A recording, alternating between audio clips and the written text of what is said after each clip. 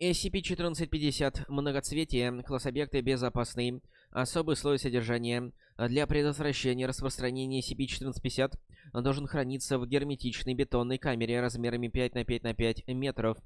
Объект должен отслеживаться черно-белой камерой наблюдения с закрытой передачей сигнала. В случае, если камера будет засорена частями SCP-1450, то в камеру содержания должна быть направлена команда в костюмах полной биологической защиты со встроенными датчиками сердцебиения для очистки объектива. О частях SCP-1450, действующих за пределами нормальных параметров или отсутствующих на своих позициях, следует немедленно докладывать. Колонии SCP-1450 найденные за пределами камеры содержания, в зависимости от их местоположения и количества, подлежат немедленному уничтожению путем сожжения или обработки пестицидами. Их местоположение следует отмечать и передавать исследовательской команде SCP-1450 Гамма. Описание. SCP-1450 представляет собой колонию насекомых неизвестного отряда, семейства рода и вида. Голова типичного представителя вида снабжена усиками, э, фасеточными глазами и рядами зубчатых челюстей. Э, передние, средние и задние трети груди снабжены ногами. На брюшке располагается набор гермафродитных гениталий. Грудь покрыта хроматическим э, покрытием. SCP-1450 использует это покрытие с целью смены окраски в городских условиях. В частности, колонии SCP-1450 имеют склонность мимикрировать под высохшую краску на стенах. Колонии SCP-1450, как правило, заменяют собой краску на заброшенных зданиях, впадая в некую форму спячки. Предполагается, что их склонность к гнездовому образу жизни, а также выделение теплоизолирующих фекалий на основе латекса позволяет им выживать при таких низких температурах, при которых насекомые обычно погибают. Этот гнездовый материал на основе латекса является остатками поглощенной краски, переваренными и выделенными насекомыми. SCP-1450 Э, предпочитает адаптированный способ охоты, используемый для этого хроматическое покрытие на своих спинах.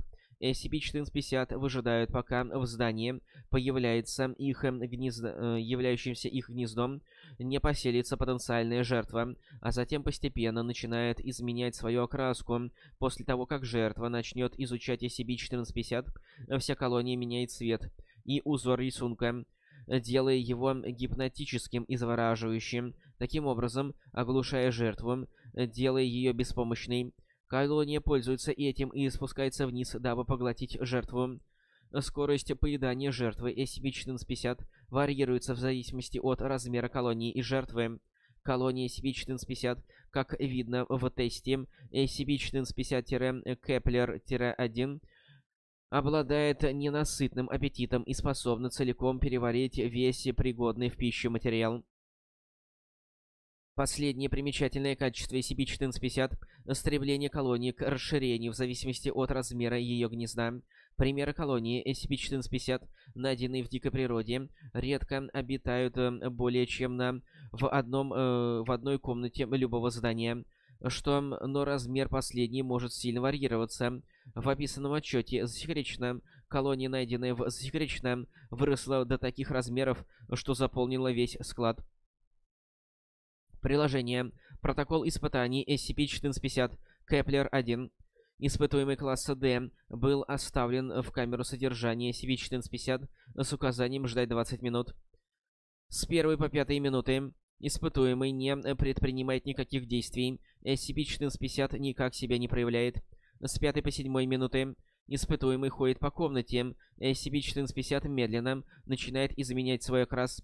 Седьмая минута. Испытуемый начинает изучать ближайшую часть SCP-1450. С этого момента все показания сделаны на основе видеозаписи исследования, так как после седьмой минуты наблюдательная группа ничего не помнит. Последующий анализ выявил, что наблюдательная группа подверглась тому же эффекту, что и испытуемый.